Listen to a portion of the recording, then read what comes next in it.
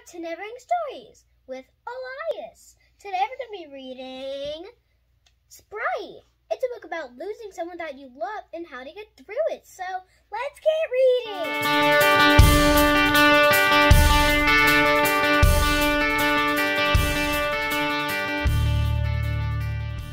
Sprite by Kelly Oriard with Callie Christensen.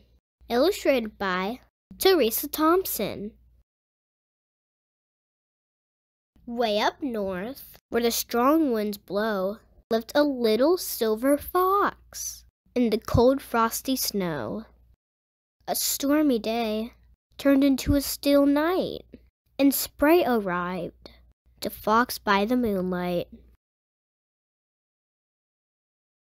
The news Fox heard had broken his heart, and from this place came Sprite from the dark.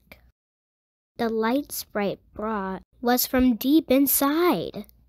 Memories of the one that had left Fox behind. Fox had never seen a creature so brilliant. It sailed on the wind, seemed gentle, yet resilient. Sprite smiled at Fox and explained with a nod, I am here to guide you and all of your love. When someone goes away, or from life passes on, you feel in your heart that their presence is gone. The piece of your heart, where their love settled in and changed you forever, can still remember them.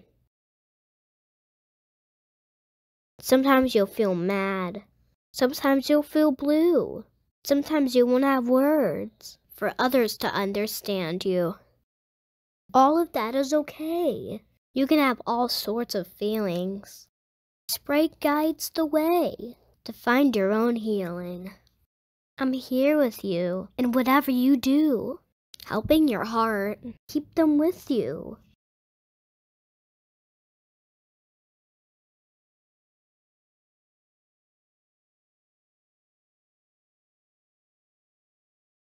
Repeat after me the message of Sprite that gave Fox strength in his darkest night.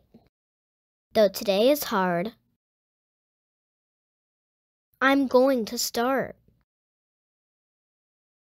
the journey ahead with you in my heart. The end.